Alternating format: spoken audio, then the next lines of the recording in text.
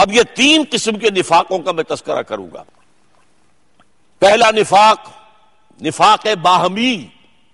हम एक कौम होते थे। अब कौमियतों में तहलील हो चुके हैं। वो एक कौम कहाँ है? ढूंढ अब उनको चिरागे रुखे जेबा लेकर। अब तो असबियतें हैं, सूबाई असबियतें हैं।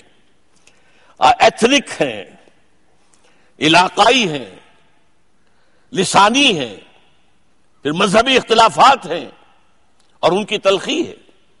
कहाँ है वो कौम? निफाक बाहमी। सबसे पहला निफाक बाहमी 1971 में दो लख्त हुआ पाकिस्तान। तारीख की अजीम तरीन हजीमतों में से एक वो थी। इंदिरा गांधी ने कहा we have avenge our thousand years defeat हमने अपनी हज़ार साल शिकस्त का बदला चुका दिया है। और हमने दो कौमी नज़रिए को बे ऑफ़ बंगाल के अंदर गर्क कर दिया है। तिरानवे हज़ार मुसलमान हिंदुओं का कैदी प्रिजनर्स ऑफ़ वॉर तिरानवे हज़ार। हमारा कितना असलाह उनके हाथ लगा था। हमारी, हमारे जो फिर बहरहाल था, वो पाताल को आ चुका था, वो तो मैं तफसील में नहीं जा सकता, वक्त ज़्यादा हो गया है। वो तो पाकिस्तान उसी वक्त खत्म हो सकता था। इसलिए कि मगरब पाकिस्तान पर भी सारे हमारे डिफेंसेस टूट चुके थे। सियालकोट सेक्टर टूट चुका था। राजस्थान सेक्टर टूट चुका था। सिर्फ़ एक टिक्का खान टास्क फोर्स लेकर बैठा हुआ था और वो था सुलेमान की हेडवर्क्स में। बस। एयरफोर्स हमारी पैरालाइज हो चुकी थी। वो तो निक्स अल्लाह ने अभी हमें मोहलत देनी थी। छोटा अजाब दिखाया था। वला नुजीकन्नदाबिलदना दून अकबर यरजून हम इन्हें बड़े अजाब से पहले, छोटे अजाब का मज़ा चखाएँगे, ताकि शायद के जाग जाए, होश में आ जाए, लौट आए लाहम यरजून सूरज सजदा की आयत बहुत अहम है। वला नुजीकन्नदाबिल अदना दून अजाबिल अकबर। ये इजाब बहुत बड़ा था, लेकिन इस एतबार से अदना था कि बहरहाल मशरकी पाकिस्तान नहीं सही, एक आज़ाद मुसलमान मुल्क तो अब भी मौजूद है, बांग्लादेश के नाम से सही। उसकी माहियत बदल गई ठीक है। लेकिन मुसलमान हुकूमत तो है वहाँ पर मुसलमानों का मुल्क तो है। और यह कि वेस्ट पाकिस्तान को इंटेक्ट रखा है।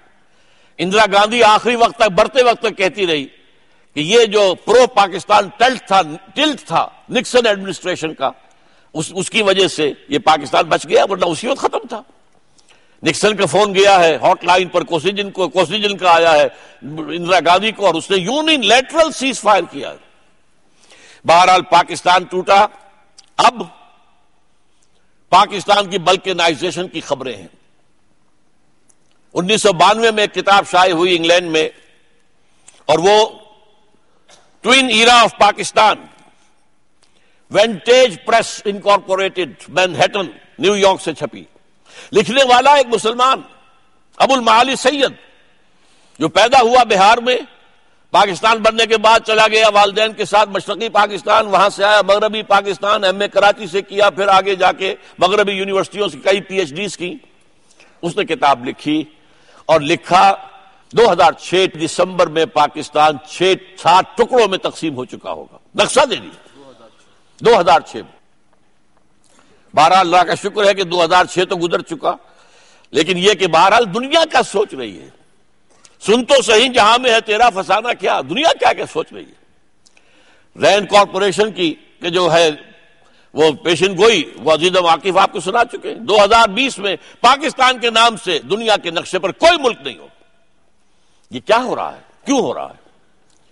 अब ज़ाहिर बात है कि खास तौर पर बलोचिस्तान तो बिल्कुल सिसेशन के और अलीदगी के दहाने पर खड़ा है। कल का धमाका नोट कीजिए।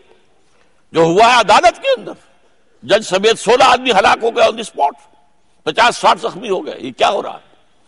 बहरहाल ये जान लीजिए कि अब सूरत हाल जो है वो मुनफाक बाहमी जो है, और ये असबियत सिंधु देश भी बन जाता उन्नीस सौ तिरासी के अंदर। एमआरडी की तहरीक के दौरान जब जियाउल हक साहब की हुकूमत थी, वो तो यह कि उस वक्त इंदिरा गांधी चूक गई, उसने मदद नहीं की। वरना यह है कि सिंध में अगर रेलवे लाइन और मेन रोड काट देते वो तो उनके पास एक्सप्लोसिव थे नहीं। वो सिर्फ़ आग लगा रहे थे स्लीपर्स को आग लगा रहे थे, बस। वरना पाकिस्तान खत्म हो जाता। बहरहाल, अभी अल्लाह ताला की तरफ़ से जो मोहलत है, उसकी कदर की जानी चाहिए, वो मैं बाद में अर्ज़ करूँगा। और यह न समझिए कि पंजाब में सूबाई असमियत नहीं है। पंजाब में शदीद तरीन सूबाई असमियत मौजूद है।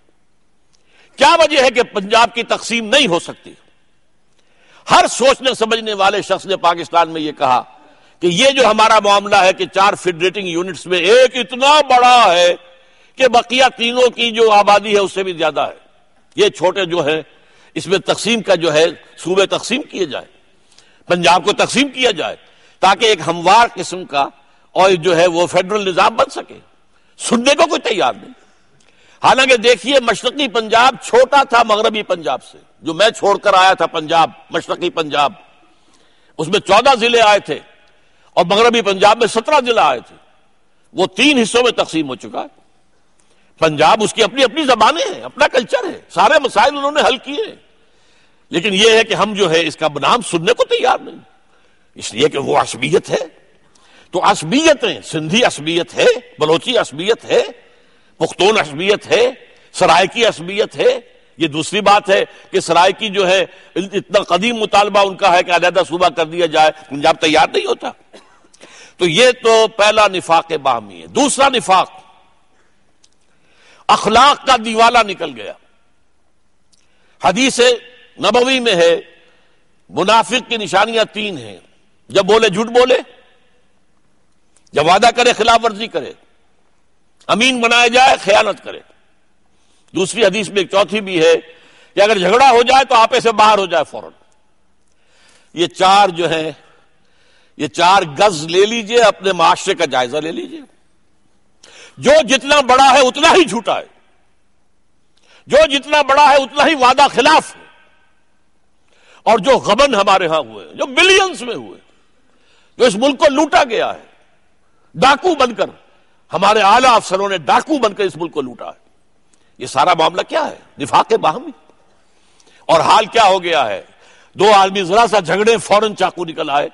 और मालूम होता है इंसान की जान मक्खी की जान से ज़्यादा नहीं है। ये वही वजह खासमा फजर। जब बात करे झूठ बोले, जब वादा खिलाफी करे, और जब अमीन बनाया जाए ख्यानत करे। इजा तुम्हें ना खाना, इजा वादा अखलफा, इजा काला, इजा हदसा कसेबा व इजा खासमा फजरा। वो अखलाक का जो है दीवाला निकल चुका है। नंबर तीन, अहम तरीन बात अब कर रहा हूँ, निफाक, सबसे बड़ा निफाक। किसी मुल्क में अहम तरीन दस्तावेज़ होती है, उसका दस्तूर। मैं सख्त अल्फाज इस्तेमाल कर रहा हूँ, माजरत खा हूँ। पाकिस्तान का दस्तूर मुनाफिकत का पलंदा है। मुनाफिक कहते किसे हैं? ज़ाहिर में मुसलमान, बातिन में काफिर। बिल्कुल वही मामला यह है पाकिस्तान के दस्तूर का। मैंने अर्ज़ किया, करारदाद मकासद भी काफ़ी थी इस्लाम के लिए। अगर उसमें जुमला होता, वरना जस्टिस नसीम असल शाह ने ठुकरा कर ठोकर मारकर फेंक दिया उसको करारदाद मकासद को। यह भी एक दफ़ा